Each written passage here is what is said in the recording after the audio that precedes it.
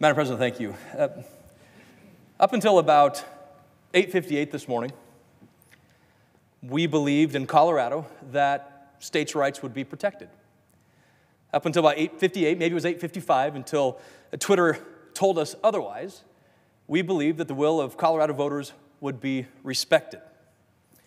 Why did we believe that? Well, conversations that I had with then Senator Jeff Sessions prior to his confirmation as Attorney General, what would happen with Colorado's marijuana policy. At the time, prior to his confirmation, then Senator Sessions said that he didn't have any plans to, uh, told me there were no plans to reverse the Cole Memorandum.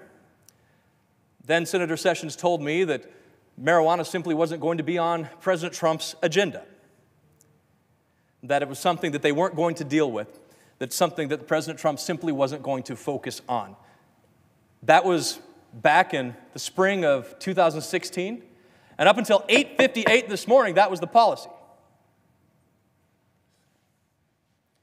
One tweet later, one policy later, a complete reversal of what many of us on the Hill were told before the confirmation what we had continued to believe the last year, and without any notification, conversation, or dialogue with Congress. Completely reversed. Now, perhaps the Department of Justice didn't think this would be a big deal.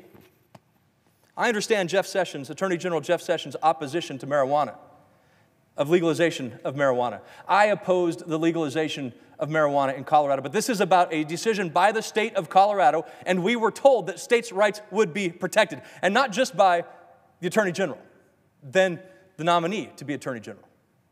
We were told that by then candidate Donald Trump.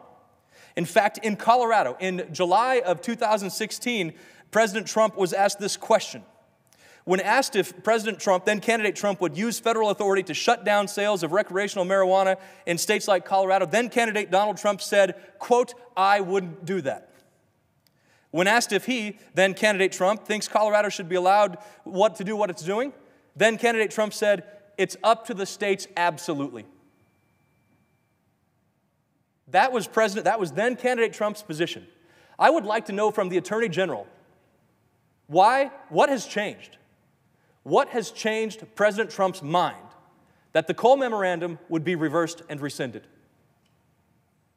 What has changed the president's mind? Why is Donald Trump thinking differently today about what he promised the people of Colorado in 2016? The reverse course today. What changed? I'd like to know that. I think the people of Colorado deserve to have that answer. Without the Cole Memorandum, legal businesses operating in accordance to states' rights, states' laws, uh, they're under, operating now under a cloud of uncertainty.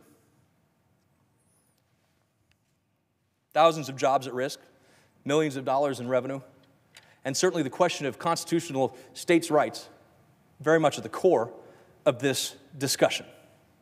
Because I believe what happened today was a trampling of Colorado's rights, its voters, and sure, this was a heavily debated issue, something that I've already said that I opposed. But the people of Colorado spoke. They spoke loudly, and I believe if the same question were asked today, they'd even have more support for the decision they made back several years ago. I agree with President Trump that this decision should be left up to the people of Colorado and to other states. And I call on Attorney General Sessions to explain to me why President Trump was wrong in 2016 and what changed their minds. And that they reverse their decision to withdraw and rescind the Cole Memorandum, and that they re implement and reinstate the Cole Memorandum. And until that happens, I think I, I am obligated by the people of Colorado to take all steps necessary to protect the state of Colorado and their rights. And that's why I will be putting today a, a hold on every single nomination from the Department of Justice until Attorney General Jeff Sessions lives up to the commitment that he made to me in my confirmation, in my pre confirmation meeting with him the conversation we had that was specifically about this issue of states' rights in Colorado. Until he lives up to that commitment, I will be holding all nominations to the Department of Justice. The people of Colorado deserve answers. The people of Colorado deserve their will to be respected. Madam Chair, Madam President, I yield the floor and note the absence of a quorum.